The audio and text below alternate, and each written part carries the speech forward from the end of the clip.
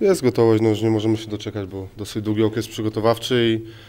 dosyć długo wolnego mieliśmy w tamtym sezonie wystarczająco, żeby, żeby odpocząć i przygotować się do nowego sezonu i na pewno z niecierpliwo- niecierpliwością czekamy, jak i my, na pewno kibice, wy dziennikarze także, więc czekamy e, ostatnie szlify przed Górnikiem i jutro wyjeżdżamy i, i bitwa, bitwa o pierwsze punkty. Jaki to może być mecz Twoim zdaniem? Bo przypominając sobie te trzy z zeszłego sezonu, trzy zremisowane, ale aż 14 goli w nich padło, to spodziewasz się również takiego ostrego strzelania? Życzymy sobie, żeby to było os- ostre strzelanie tylko w naszym wykonaniu, bo dużo trenowaliśmy e, nad grą obroną całego zespołu, żeby tych bramek tracić mniej niż w tamtym sezonie.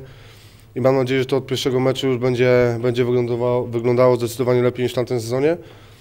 Aczkolwiek, jeżeli to by był ciekawy, ciekawy mecz z dużą ilością bramek z obu, z obu stron na naszą korzyść, to, to dlaczego nie? Jak oceniasz potencjał Korony po tej przerwie letniej?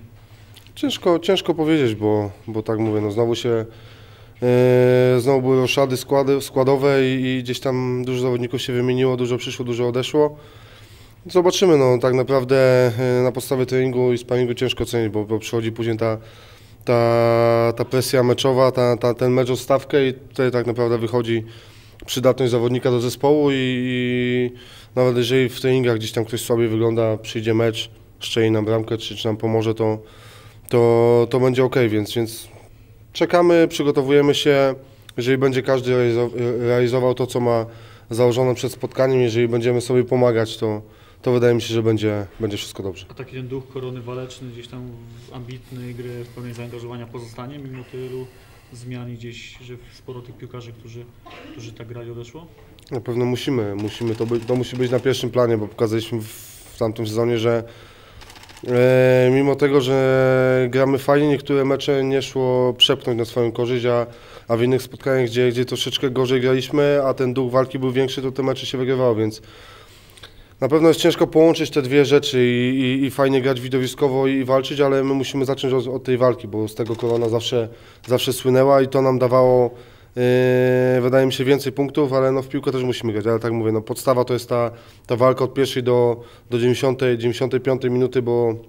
yy, no bo to jest ten, ten yy, gdzieś tam znaczek rozpoznawczy korony, a jeżeli dojdą do tego umiejętności, które niewątpliwie posiadamy, to, to będzie ok. Już jako ten pierwszy kapitan, nie jako drugi kapitan będziesz dbał o to, żeby ta atmosfera w szatni była dobra w Kielcach, mówimy, że ta szatnia zawsze gdzieś tam była jednością i Korona w wielu meczach wygrywała też tym, że, że była atmosfera. Tak, no wydaje mi się, że na początku sezonu nigdy nie było z tym problemu, bo zaczynamy, tak naprawdę wszyscy mają ważne kontrakty, nikt, nikomu, nikomu się nie kończy, więc ta atmosfera będzie na pewno, każdy będzie chciał walczyć o skład, no taka jest, taka jest prawda i e, ta atmosfera może popsuła się delikatnie w końcówce po awansie do ósemki, chociaż nie powinna, ale były sytuacje nie do końca może pozasportowe, które decydowały o, o, o, wyborze też składu i gdzieś tam e, już część zawodników wiedziała, że nie zostanie, byli odsuwani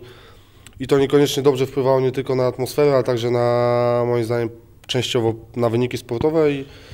wydaje mi się, że tego od początku sezonu na pewno nie, nie będzie i, na dzień dzisiejszy mogę powiedzieć, że atmosfera jest, jest bardzo fajna. Mamy em, różne narodowości w szatni, jak to co roku, ale, ale jest ok, wszyscy się dogadują, uczą się coraz więcej polskiego, więc to może być na pewno ten pozytyw, ale tak mówię,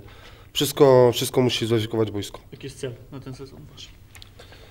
No, na pewno rozbudziliśmy apetyty już tymi dwoma, dwoma sezonami w tej pierwszej ósemce i e, chcielibyśmy znowu awansować do tej ósemki i taki jest nasz cel. Pewnie się znajdą ludzie, patrząc po, po roszadach, e, jakie nastąpiły w zespole, że znowu będą nas e, stawiali do, do pierwszych do spadku, ale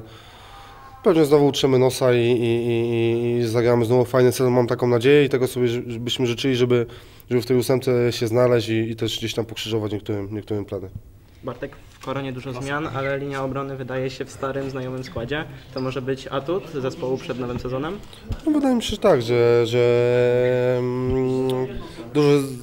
zawodników się zmieniło, ale, ale pod tym kątem gry, grze, gry obronnej, linii obrony stricte, to, to, to nazwiska się pojawiają te same, które w tamtym sezonie, więc na pewno rozumiemy się już i, i te, ten okres przygotowawczy e, znowu wydłużył ten czas naszej współpracy i na pewno, na pewno on będzie działał na naszą korzyść.